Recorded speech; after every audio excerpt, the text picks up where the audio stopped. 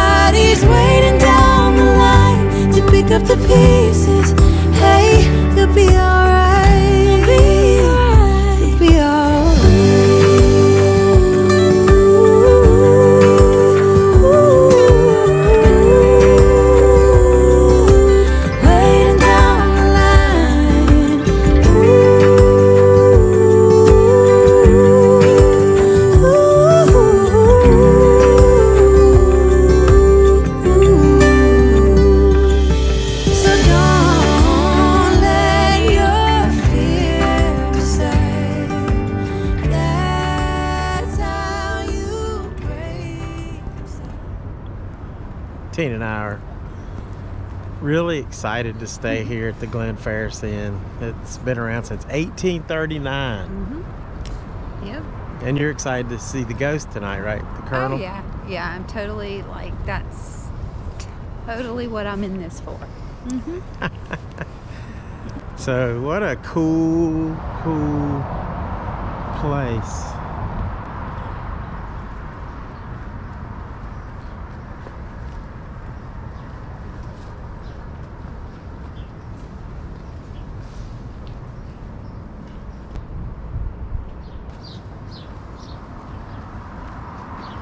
All right. Our room is on the second floor.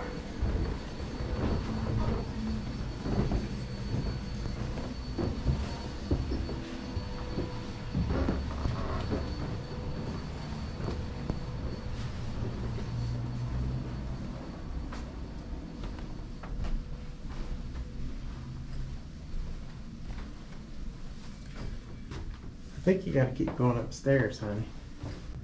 This is neat. nice little sitting area.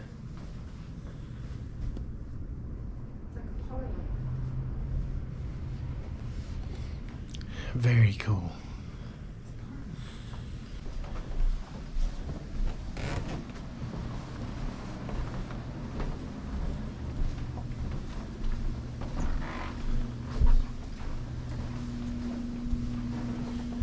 Now we haven't seen the colonel yet.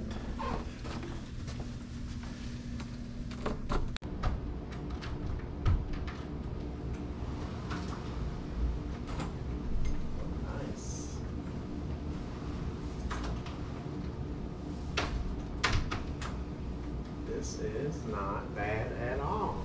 This is pretty.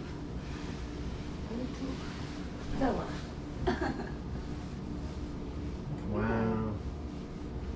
Looks neat. It's a really good view here of the river. So look at that. Wow. How pretty.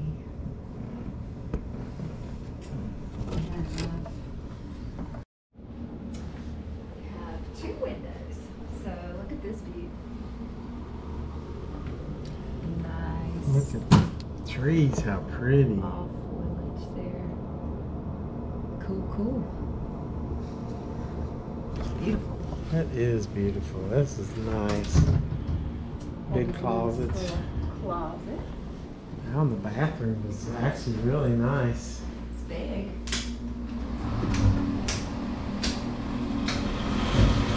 We got all kind of fans in here.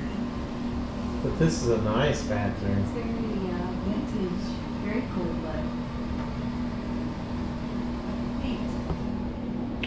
It is neat. Very clean too, by the way. Let me turn these fans off. Cute little table. It is a cute little table.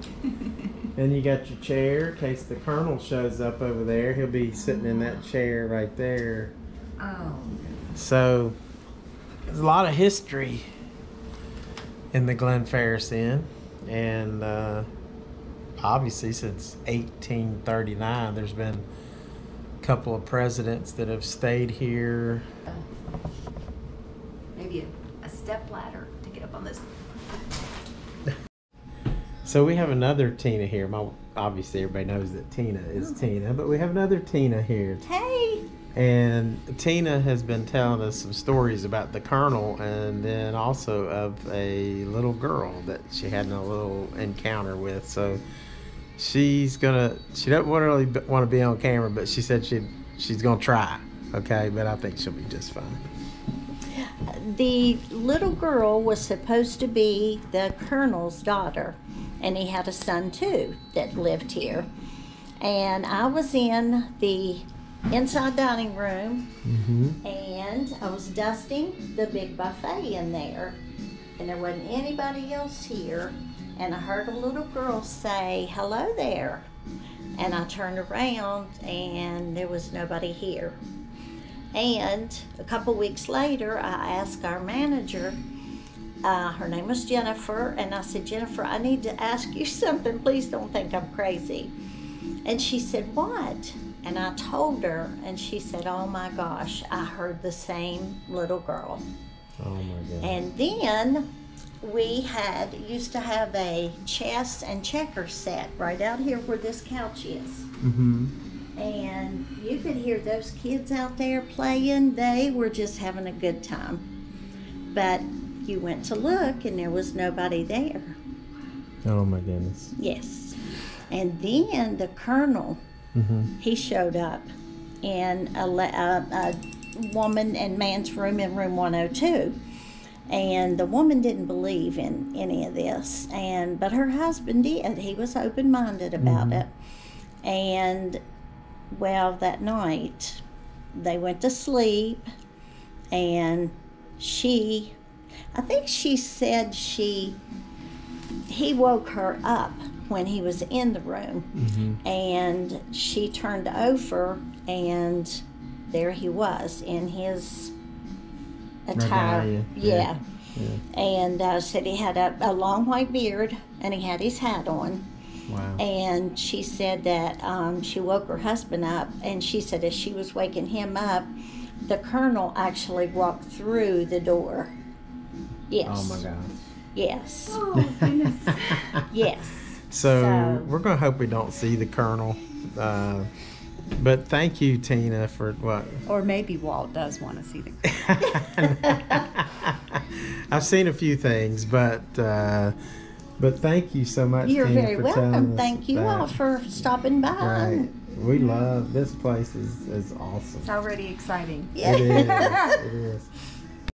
I walked into the dining room to get some video clips. When I got home, I heard this voice on one of the clips of a little girl saying, "Hey, hey boy," or "You're a boy," or something. Listen. Low. Mm-hmm. Yeah. That, that's the original kitchen right here. Yes. Wow. Cool. Hello, you're on camera. Sorry. You'll be famous then. And then that, which is our bakery, oh, um, nice. was part of their kitchen. And then they built the new kitchen on. This is the original kitchen Yes. because you can see the brick. Yeah, that's so neat. Very nice. Eight. That kitchen was from 1839, right? Wow. Pretty amazing. And that's the. I guess they've added on since that's because it's the- huge operation. That's our kitchen now. Wow. Thank you, Tina. You're welcome.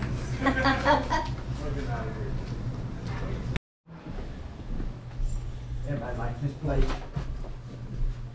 Alright, so see, I think I can show you one of everything I'm thinking unless somebody's checked. This is room 102, which is where the colonel was reportedly showing up.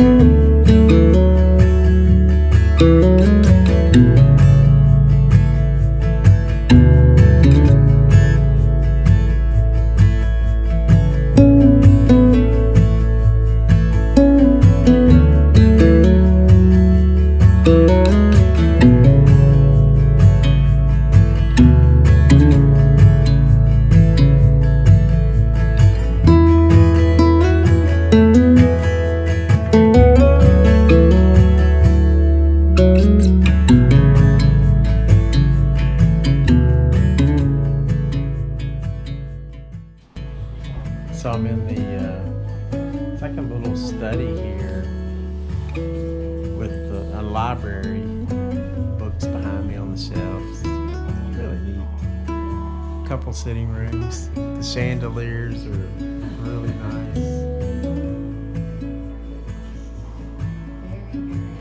Old and historical. It is, but it. it's so cool. It's really cool. We're loving Glen Inn.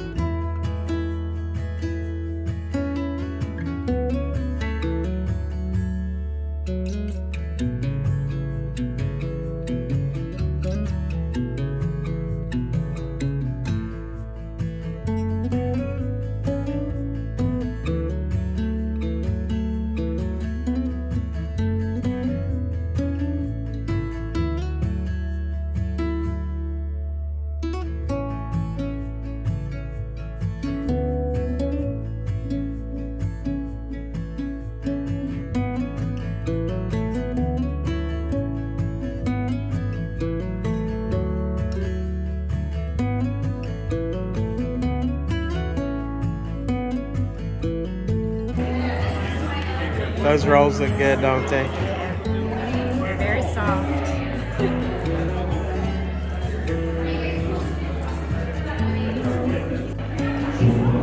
what do you have, honey? I have crab cakes and coleslaw and a side salad that I've already indulged on. Um, and wait to try This is, I don't know if they have a name for it, but it's uh, basically ground round with potatoes, tomatoes, marinara sauce. That looks so good, doesn't it? Mm, mm, mm. So,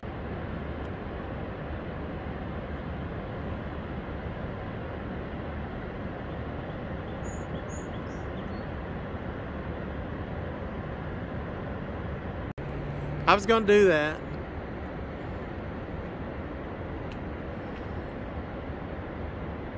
So we're back in our room at the Glen Ferris Inn, and I'm sipping on some uh, Jesse James American honey. It's actually really tasty.